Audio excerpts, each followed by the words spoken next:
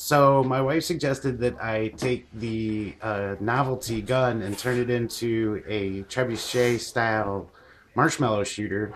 So that's what we did, and here's Steven to demonstrate it. Should I shoot it? Yep. Okay, and here's Levi shooting it.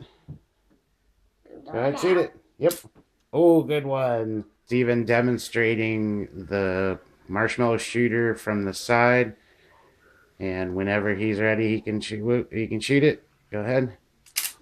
Oh, and that one went really far. Uh, this is a top-down view of it. Uh, right here, we have a tensioning mechanism. And right here is the point which it rotates around. Right there is the marshmallow seat.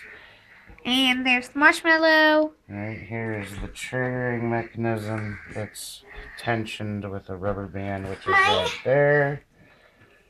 Not too big, not too small.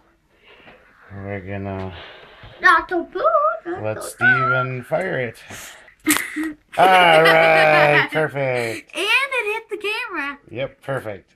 Here's Levi shooting at me. Fire. Oh, good shot. Perfect.